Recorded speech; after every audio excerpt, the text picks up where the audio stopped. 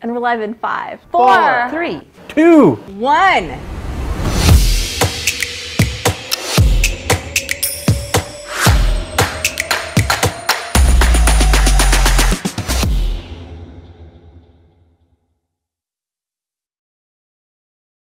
Good morning to all our participants. My name is Clifford Pierre, a neurosurgery fellow at the Swedish Neuroscience Institute. And like I'd like to welcome you to the Cerebrovascular Question and Answer Symposium hosted by the Seattle Science Foundation and uh, Swedish Neuroscience Institute. It is my distinct pleasure to introduce uh, my former co-fellow, Dr. Alon Orlev, who is currently working as a skull-base and cerebrovascular neurosurgeon at Rabin Medical Center in Israel. Uh, Dr. Orlev grew up in Israel and Connecticut and uh, served eight years in the Israeli Air Force as a helicopter uh, pilot and flight instructor. Um, outside of that, in his uh, journey onto medicine, he completed a medical degree at the Sackler Medical Institute at the University of Tel Aviv. Um, he trained as a neurosurgeon at Sheba and Rabin Medical Center in Israel. And uh, during training, he had done a research internship at Johns Hopkins uh, Hospital, and where he returned for dual clinical fellowships in the cerebrovascular and skull base. Uh, he then went on to do advanced skull base and minimally invasive training fellowship here at Swedish Neuroscience Institute under the tutelage of Dr. Litvack. And uh, his life beyond neurosurgery uh, includes a loving family uh, with, with, a wife and three children, as well as uh, tons of travel. And so we're glad he's back from his uh, vacation and he could be with us this morning to talk about decision making and tools and tips for vascular neurosurgery. Dr. Orlev. Hi, good morning. Thanks so much for having me. Thanks for the introduction. I'll um, I'll share my screen. Okay, so um, so thanks again. Um, so my name's Alon Orlev. As mentioned, I'm a skull-base and cerebrovascular neurosurgeon. I work at Rabin Medical Center in Israel, and I'll be talking about operative decisions in cerebrovascular surgery. Um, so as mentioned, my um, other than being a cerebrovascular and skull-base surgeon, I'm a former Black Hawk pilot. Um, and from that, I kind of uh, I I started learning about this, and um, and I'll mention a little bit from both uh, types of fields, which I find very similar in many ways. Um, we tend to make mistakes uh, in our environment, uh, obviously, and not surprisingly, often when we reflect back on these, we find that we uh, that we can find reasons for the mistakes um, that we made. Um, and sometimes these mistakes were expected and we can and we can actually learn from them. And i've spent a number of years observing analyzing studying the decision making process in this kind of unique and quite similar environment that we have in the cockpit and the operating room. And i created this uh, tool that may assist with decision making in the operative setting. In this talk i'll define a little bit our environment the type of uh, work that we do. I'll list some factors that uh, go into the decision making the way we do it I, pre- I present the decision making tool that I worked on, and um, and I'll provide some examples, and I hope this will be of help.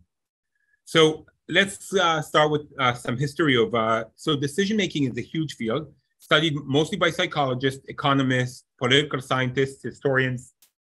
Um, it, it's shaped by our evolutionary journey, right? Decision making started when we were hiding in the savannah and when, we hear in the savannah something moving you have to decide whether it's something going to, that's going to chase you or you want to chase it. Um, but but we do know that it's that decision making um, through our evolution is overwhelmed with biases and errors.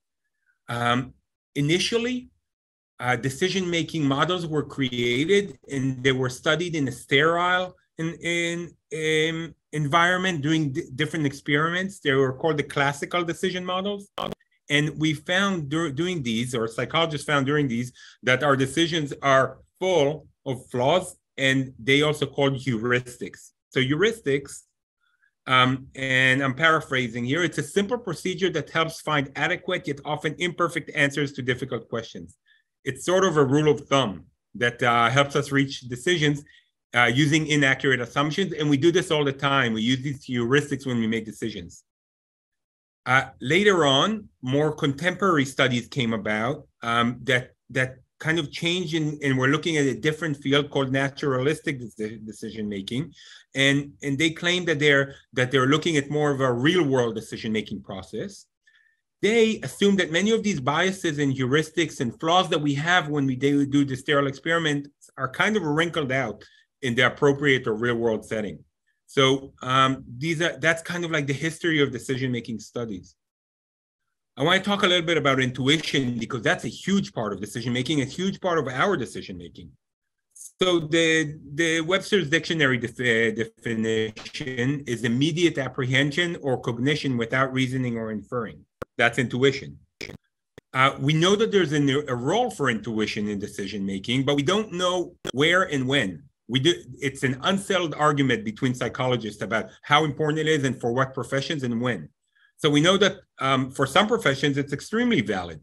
A professional chess player makes a lot of it of their uh, choices and decisions based on on intuition. Aircraft mechanics should probably re- rely more on procedure and uh, than on uh, than on intuition. While meteorologists, political scientists, those are those are professions where intuition uh, doesn't play at all, um, doesn't doesn't mean anything. So so a psychologist named Gary Klein he studied intuition in firefighter commanders. And he found that they tend to evaluate a single option and then to decide, they decide if to go for it or not to go for it. That is a little bit similar to what we do some of the time. Um, Daniel Kahneman, which is a Nobel Prize um, uh, laureate, um, that that did a, that a lot of the classical decision models came from him. He warned that uh, intuition is an avenue for decision errors he talked about intuition is part of our biases and our flaws are caused by the intuition that we carry around. Um, uh, Chip and Dan Heath wrote a great book called Decisive, and they wrote that uh, that intuition is only accurate in domains where it's carefully trained. And we do know this experience enhances intuition, and we'll talk about that a little later again. Both the both the two um, the the two major players, cognitive psychologists that studied and had and argued about their value of intuition, both Kahneman and Klein, who I mentioned, they both agreed that the confidence that people have in their intuition is not a reliable guide to their validity, in their words. Kahneman also said, interestingly, be warned that your intuition will deliver predictions that are overconfident and too extreme, and you will be inclined to put far too much faith in them. So that's that's a little bit about intuition, and it's something that we use all the time, but we should probably use a little more safely than we do. And um, and I'll talk a little bit about that. So let's talk about dive down a little bit about the decisions that we make as cerebrovascular surgeons. Um, the decisions can start as instinctive decisions. When we have an intra-op aneurysm rupture, that's an instinctive decision, and and we have to fo- follow protocols. There are there are uh, intra-op decisions that we make all the time that we have a little more time for. Um, for example, clip configuration that we want to put on an aneurysm. There are even bigger decisions um, that are the preoperative decisions that we make, which is selecting the surgical approach that we want to take. And then there are the procedural decisions. Those have been studied a lot. Just an example is cerebrovascular surgery for me. Or should I or should I uh, take on this job, or should I buy this house, or should I marry this person? Those are the big procedural decisions. And um, obviously, um, in terms of time constraints, when you look, it's it's from ones that have are very limited to ones that we have no time constraints at all. Intuition plays a huge role. Intuition and experience plays a huge role in the instinctive decisions that we make. For the procedural decisions, it's exactly the opposite. We don't use intuition we we kind of uh, we look at our different options and try to avoid making intuitive decisions when we make big decisions for our life. And in terms of options, that's an interesting one. And going back to what I mentioned with Gary Klein, he said that the, during instinctive decisions, we tend to measure a single option and we decide whether to go for it or not. While the opposite happens in procedural decisions, that's when we kind of uh, look for alternatives. So interestingly, I found that the top and the bottom one have been studied immensely. And there's a lot of books that talk about procedural decisions and how do you make decisions in your life. Not a lot of been, has been said and done about this middle ground, which is the ground where we live, where we make our, many of our decisions. So let's define that a little bit. So, what are these operative decisions as I define them?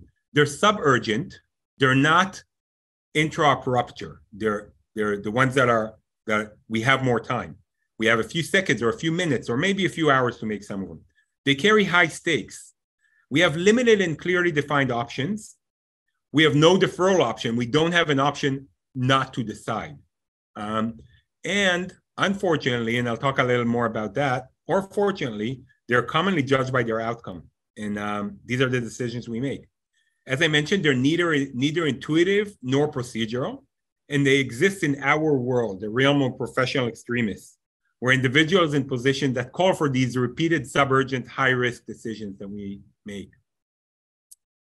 So I try to make a model that will help us make um, um, that will help us with this decision making that we need to make.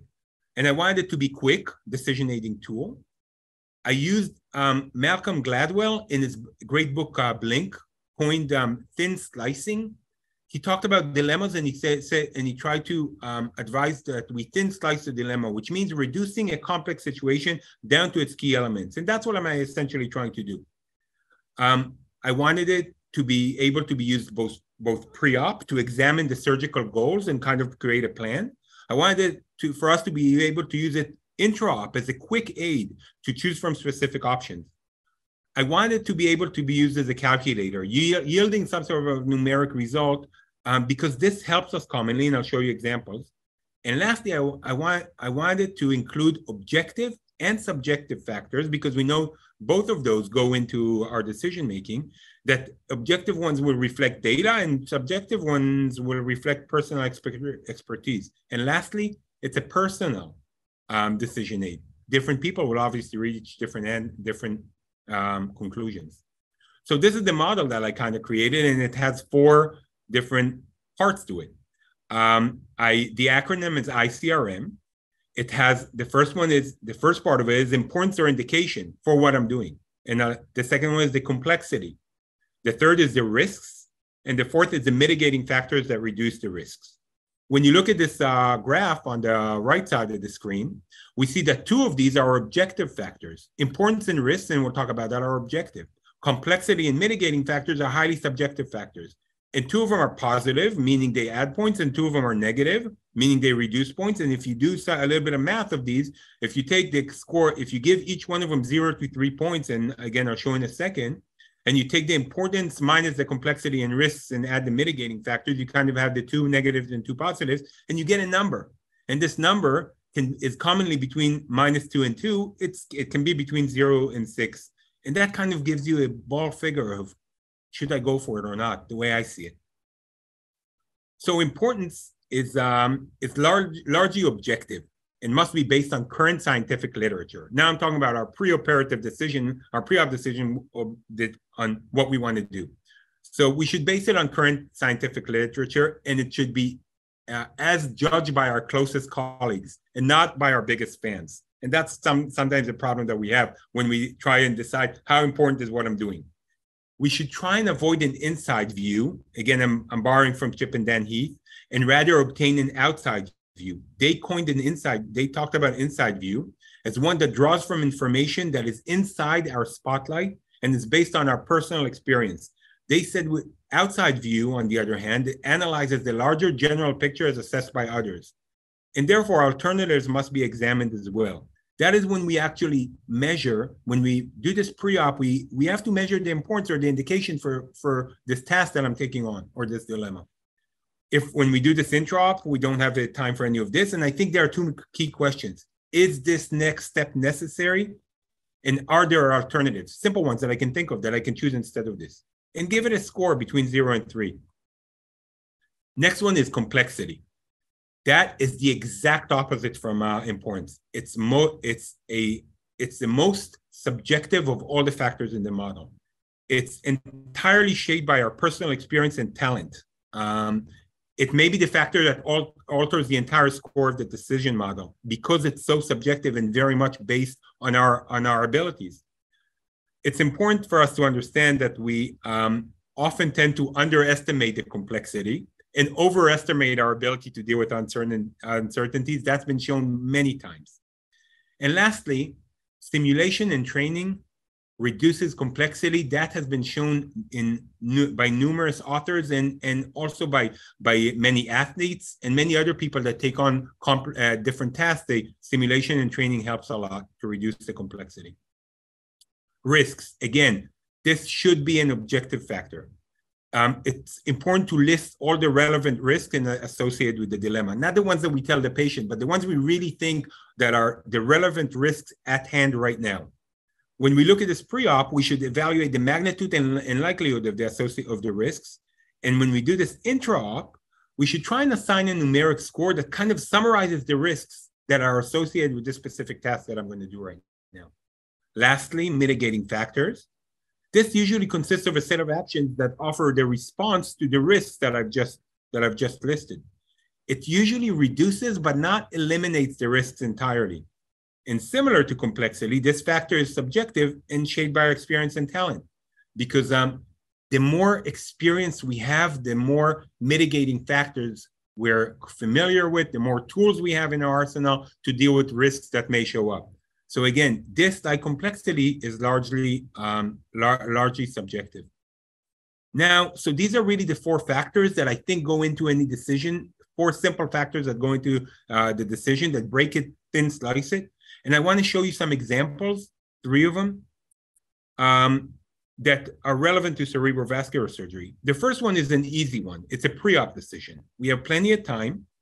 And this is something we struggled with trying to decide how to go about this surgery. And I'll, and I'll tell you about it. This is a 35-year-old male copywriter that presented with seizure. Imaging showed the left posterior superior temporal subcortical uh, ICH from what was assumed was a cavernoma. He was discharged with anti-seizure meds and then presented again with another dysphasic event and additional seizures. Because of the anti-seizure meds, he was unable to work, obviously, as a copywriter. Uh, he was he kept saying that he was just slow. And that and that pushed us towards our decision to proceed with surgery to resect the lesion and the seizure focus. Now, we did not want to resect just the lesion. We wanted to cure this kid from his um, from his seizures because um, because that was the main thing that obviously bothered him. So the question is how much hemosiderin uh, stained white matter should be safely resected? Now, this is the lesion. Um, I think I'll stop and uh, and um, yeah.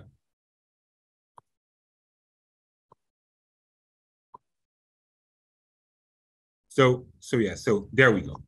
So um, so we see the lesion and um, and it's it's um, it's at a location that is associated with Wernicke. Uh, we did an fMRI that which actually showed that that Wernicke's um, or the um, the speech region, the uh, the receptive speech region, is surrounding the lesion completely, and that caused a dilemma. So what should we do? Resecting the lesion, not a big problem, but how much of this of this white matter around the lesion should we resect? And and that's kind of the dilemma that we knew we were going to face intraoperatively, and we were kind of thinking, pre-op, how can we solve this issue? Or what's going to help us make this make the decision of can I continue or not? So, so again, what we did here is we put the I put this into this uh, decision model, and again, that's a simple one. What's the importance? We want to get seizure control, right? That's the that's a reason why we're doing this surgery. And I thought that was a two. I thought that was pretty important from zero to three.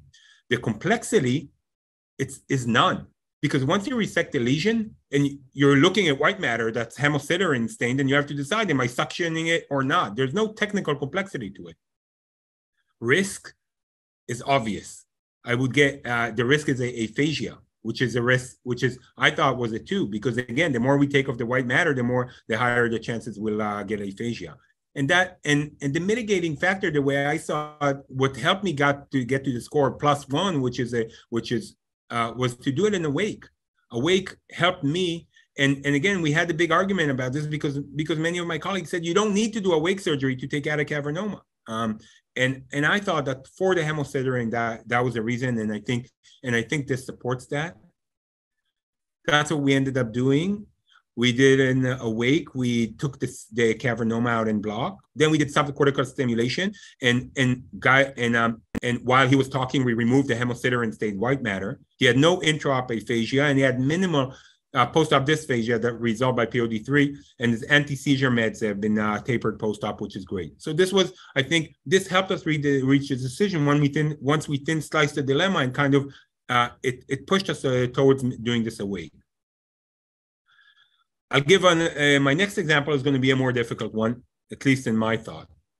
This is um, this is an intra-op decision of a ruptured, uh, and we have a ruptured aneurysm. This is a young man with a that uh, that came in with subarachnoid hemorrhage. He had a wide neck distal MCA dissecting aneurysm, and we de- we decided there's no safe endovascular treatment option. Uh, he started off obviously with an angio.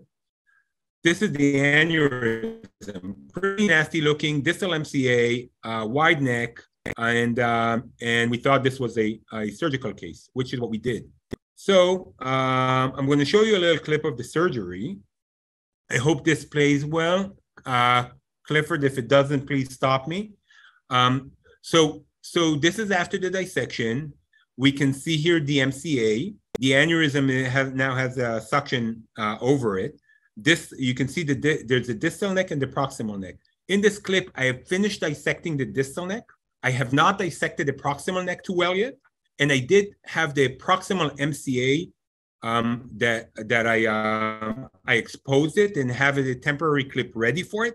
I didn't want to put on a temporary clip um, because I I if I can I'd rather uh, not put one on the MCA obviously for obvious reasons. So so this is where we're at.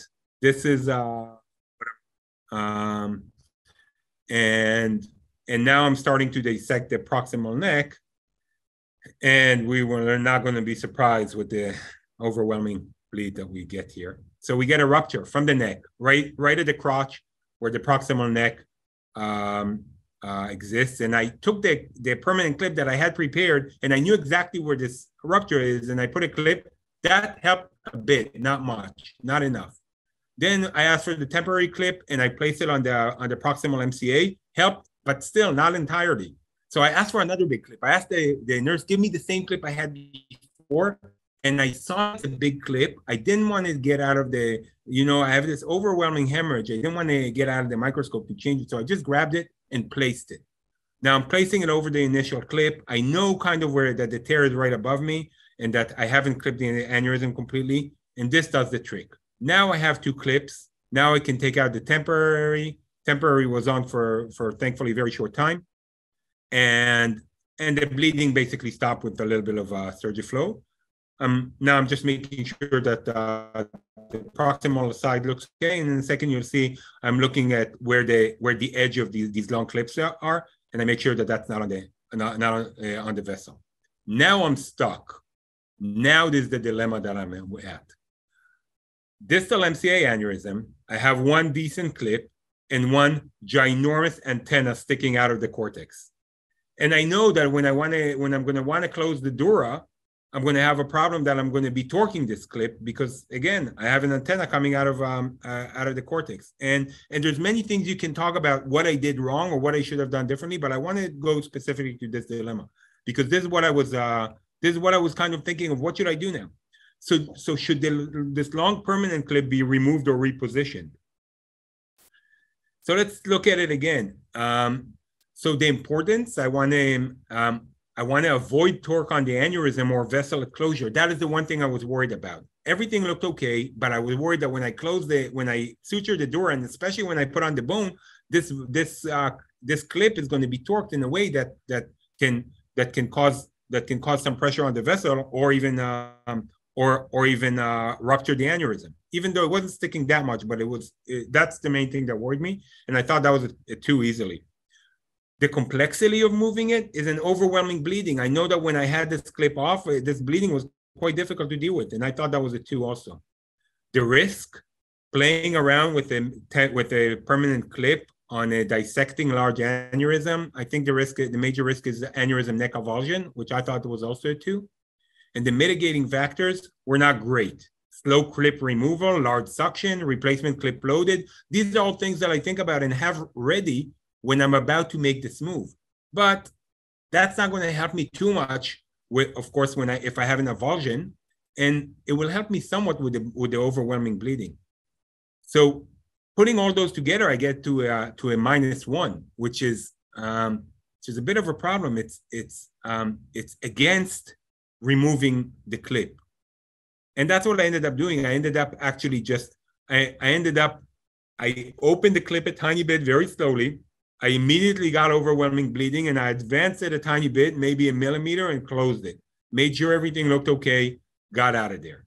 Closed the dura, closed the bone, got out of there. Patient did okay. Thankfully, woke up okay. So post-op angio, um, and I'm going to stop it here for a second. Look at this. There's a there's a little V inside the um, the vessel, and it's and what we we looked at it, and it looks like um, the edge of the clip is kind of sitting, and I thought it's torquing. It just kind of bent and and pressing on the on the vessel, and I think that's some torque that I uh, from from the little movements that I had to put on it as I was uh, closing Dura. So, um, was this the right decision or not? Again, we're judged by the outcome, but um, but my decision model was kind of against the way I did it. It came out against uh, moving it. It I ended up not really moving it, just advancing it a little bit, and, and I ended up uh, causing some pressure on the on the vessel. Then the and on the flip side, the patient did okay, but um, so last, my last one, my last, uh, the last uh, example that I want to show is a is another intra-op decision that we dealt with. This is a central sulcus uh, dural AV, dural AV fistula. It's a 50-year-old uh, male with repeated uh, right parasagittal postmotor uh, ICHs ca- causing leg weakness. This happened twice at least over a few years. The weakness each time resolved with rehab. Imaging showed this postmotor parasagittal dural AV fistula draining into the superior sagittal sinus endovascular uh, embolization was aborted, deemed too risky because um, even with super selective, they were they were uh, they were hitting um, some vessels that were actually actually on the motor cortex. Um, and then the decision was to go for microsurgery. During surgery, it was the initial parts were easy. We opened it and we found the superficial abnormal fistula vessels, and those were coagulated. But we knew we were not done. Our dilemma was to should we proceed inside the central sulcus to chase an additional fistula point that we knew was deeper within the central sulcus. So we have an intra-op angio that we do. This is a super selective one showing um, showing the um, uh, the fistula. This is also there's the other uh, pre-op uh, one showing exactly where the fistula is. This is when the patient is already placed, obviously in pins and all. Um, so and so we again we started with the easy ones, and then when once we were done, we were like, well, there's another deep one. Should we go for it or not? So what's the importance of do of actually chasing the deep one inside the central sulcus? The importance to get complete uh, occlusion of the fistula to avoid the risk of rebleeding. And I thought that was it too. Complexity, absolutely. I think this is a complex problem. Arachnoid dissection of the central sulcus identifying the fistula, uh, the, fish, the fistula's vessel within this deep sulcus compared to all the other vessels that are in there. Risks bleeding, of course, when you're deep in, in the central sulcus, or getting a stroke. Obviously, if we if we end up taking the vessel that's actually not part of the fistula, or that's that's uh, that's supplying some of the motor cortex or draining. And our mitigating factor is careful dissection and to verify that the vessels uh, are fistula related. I have to say something about these mitigating factors. I gave it a one. It's probably worth a zero. As one of my flight instructors once said, if your solution for the for the, the your problem or for your mistake is to next time try and do it better, you have no solution at all saying you know careful dissection as opposed to not. As opposed to what? Doing not a careful dissection? So i didn't really have good mitigating factors other than knowing that this is a problem. So again so if even if you put into this decision model and you give uh, one into to the mitigating factors you're still at a minus one meaning maybe it's not a great idea or it may be a risky and complex idea to chase a uh, a fistulous vessel deep in the central sulcus. Again we wanted to get complete occlusion. Guess what we did? We chased it. So we continued the sulcal dissection, bipolar the fistula, encountered encountered persistent ble- intra bleeding. We uh, but we managed to control it with some coagulation and a lot of irrigation, and we were pretty happy in the end. because our intra-op uh, angio post when we were done looked awesome. We uh, include the fistula, and we were very happy. Not surprising. Um, patient woke up with uh, okay, but then had a delayed left leg weakness, two two to three out of five, and this is what he had, right inside, right in the motor strip. Um, he ended up doing okay. It took a while. Um, he had to go to rehab. He was very weak again on his leg, and then and once that resolved, but we probably we probably coagulated some sort of vein that was draining also the the uh, the motor cortex, and and that's why we had this delayed bleeding. That's what we assumed that happened. So um, so so those are three. These are three examples that I wanted to show how this uh, quick decision model that actually takes seconds if we use it, that can help us the ICRM model. I want to talk about um, these are things we should think about. We should um, we should think about how we alter the ICRM score that we that we got. We should search for intra-op information that will change the score. If we know that we have a problem and we know what we need in order to to get a lower score on the way or what tools we need, that's a way to change the score and make it more favorable uh, we can define intra-op factors that will reverse the decision. If we get a decision not to do something, but we say, wait, but if we find this and this and the other thing while we're doing the surgery, that will that will make the the risk much lower, the complexity much lower, and therefore it will change it from a no go to a go. Um, and um, and the and the other thing is that we should think about, as I mentioned, things that can increase the mitigating factors. Um, if there are different tools that we can use in order to get a safer, um, a safer or less risky uh, dilemma at hand. And we often have those if we think about them in, in advance. I want to talk a little bit uh, for a second about the limitation of this model, the ICRM model. It, it definitely has confirmation bias. And the confirmation bias is when we logically reassure ourselves of choices we had already made. So try and avoid that and I also mentioned it had this has some sort of a spotlight effect. Um, and again, Chip and Dan Heath in their book Decisive, they said, and I'm quoting them, when we want something to be true, we tend to spotlight the things that support it. And when we draw conclusions from our spotlighted scenes, we'll congratulate ourselves for our decision. So we should try and avoid that and make sure we're not using the small in order to support things that we have already decided. These decisions like all probably, are clouded by emotions. There's a lot of emotion when we make a decision whether to do something or not, whether to take a deep fistula or to leave this patient with a partial fistula open, of course. This model does not replace intuition. Intuition is extremely important, as I mentioned. Um, this model does not replace careful planning. It's rather part of it. It precedes or follows the planning phase of every of everything that we that we do. I think it must be assessed individually in order to create kind of a personal base rate. What's your personal go or no go score?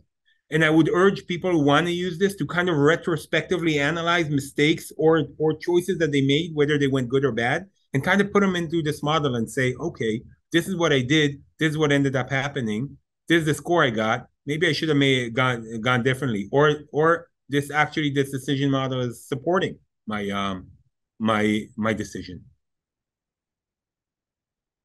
Uh, a short word about outcome assessment. Um, we tend to judge our decisions based on their outcomes just because of the job we're in. Sometimes we have to remember that correct decisions lead to unwanted results.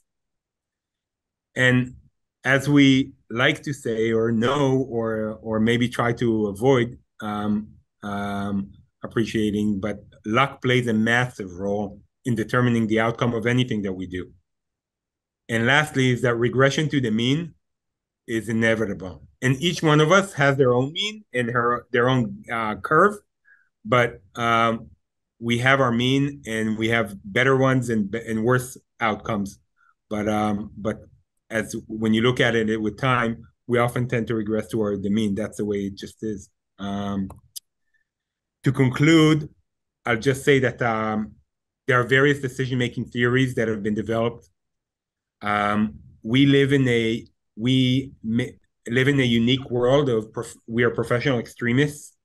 Um, we have to make unique decision uh, decisions constantly that are neither procedural nor intuitive. They're they're in in between. I think the ICRM model that I uh, devised is an um, that and it includes four factors, and I think it can be helpful. It's uh, you take importance and co- minus complexity and risks, and you add the mitigating factors. And these are things that um, kind of push you or help you decide one way or the other. It's designed to be a guide for both pre and intra-op decisions. I think this tool is subjective, of course, contains biases, but I think it can serve as a decision aid framework. I would uh, graciously invite comments uh, in any way. Um, these are some of my these are my references. Um, I'd, I'd be happy to hear any questions and comments. Again, uh, we thank you, Dr. Orlev, for that uh, great systematic talk uh, with respect to decision making um, and uh, sharing with us the, your tools. Um, and I think it was uh, excellently presented. Uh, I'm going to open the floor for questions, and if not, I have a couple questions of my own. Yeah, really enjoyed that, Alon. it's it is incredibly hard to get past your intuition. Uh, you, you, know, I think your tool is very helpful in that, at least making us pause and, and think a little bit. Um, I, I myself find it very hard not to manipulate the the decision things to to meet what my maybe conscious or subconscious uh, mind has already has already reached. And but the other thing that that I find you, you talked about you know making the correct decision and having a bad outcome.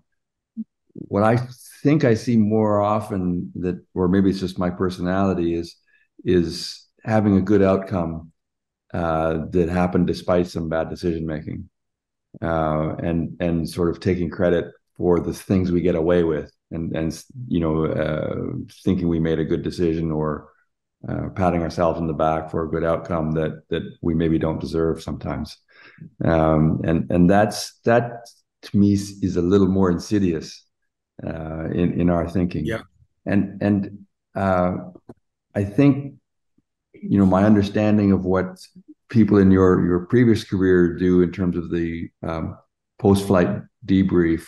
You know that's that's yeah. been integrated in uh, my experience in sort of a cursory way in in the operative uh, uh, environment and I and I really think that is there is something where there's real opportunity to be a little more uh, candid about the things we did right, the things we did wrong, and and and the uh, role that luck uh, or chance played in our in our cases, and and and so that we're not I, uh, unduly influenced by by the the vagaries of the situation. Yeah, yeah, I I entirely agree.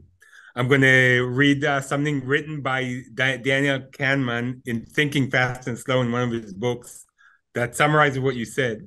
While there's often great deal of skill, like pl- luck plays a more important role in the actual events than in the telling of it. And the more luck was involved, the less there is to learn. So those were his words. I love that phrase. Then in the telling of it, it's it's uh, yeah. tales yeah. tales that grow with the telling. yeah. But yeah. but yes, absolutely. Debriefing is a major part of um of uh, flight, and usually, interestingly, you debrief the things that went well and the things that went not well, um, and um, because there's often a lot to learn from both, and and again, you have to, uh, of course, there's uh, luck plays a major role, and you have to sometimes think of did I did things go okay um, because of luck, or did things not go well this um, uh the because again because i was i was unlucky but i did make the right decision. But this is something that we face all the time. But um but we can't avoid the fact that our decisions are judged by their outcome by ourselves and by everybody. Um that's just their role of the work that we do.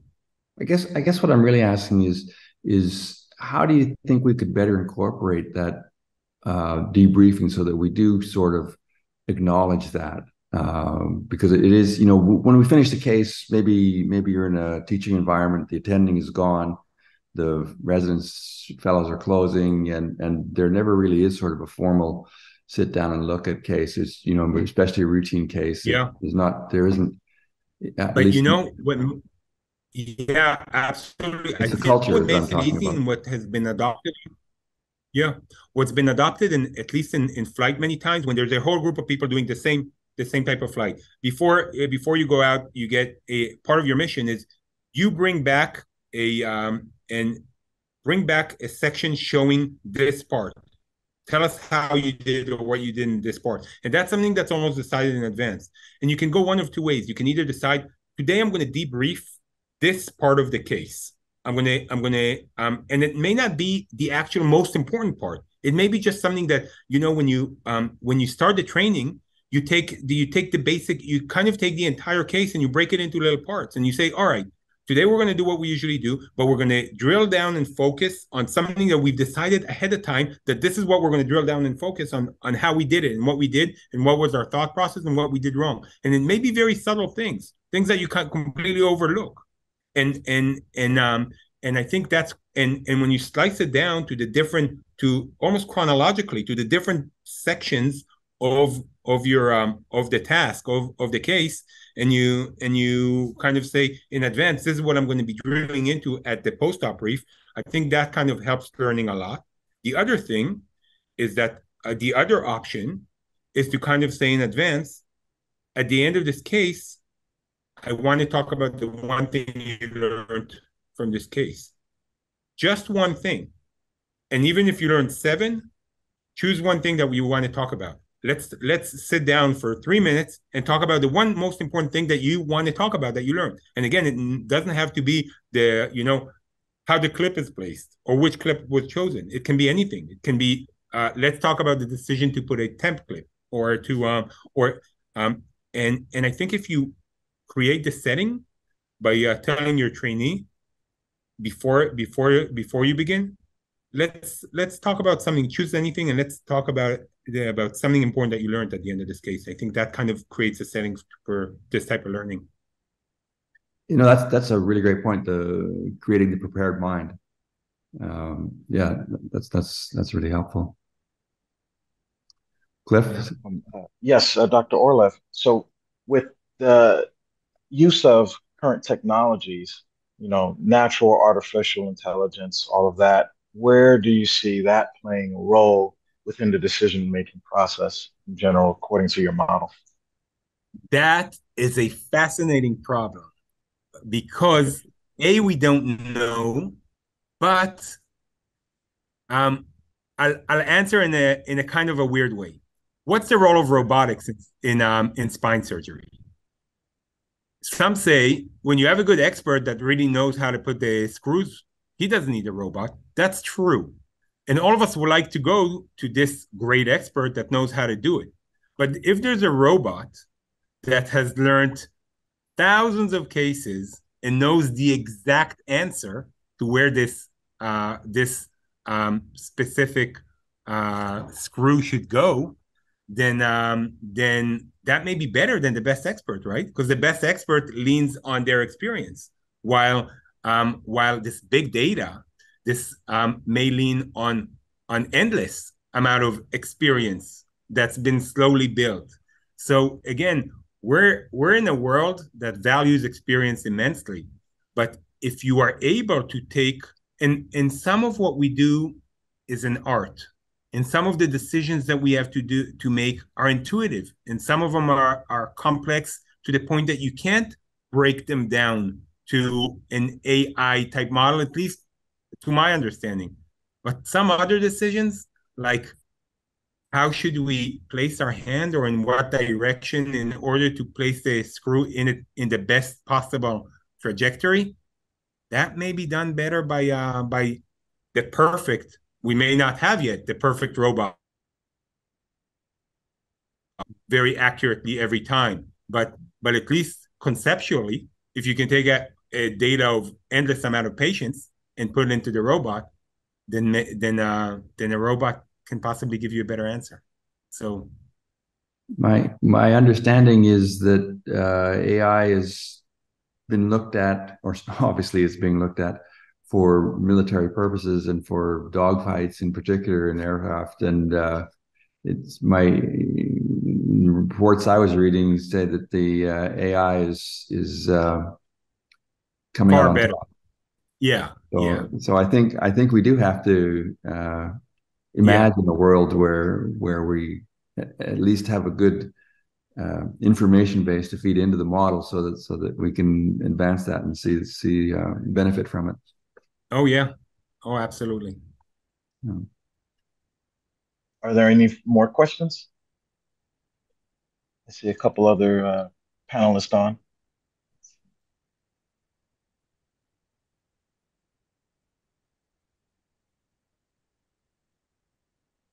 All right. Well, it was great great seeing you, Alon, and uh, really enjoyed the talk. I think I think it's it's it's very thought provoking. I think it is an area that that we need to be more um, conscious of and, and and pay more attention to. So, thanks so much. Thank you so much for having me. It was really Yeah. great. Thank Thanks you. a lot. Good seeing you. Thank Take you, care. Dr. Orlev. Okay. Take care. Bye bye.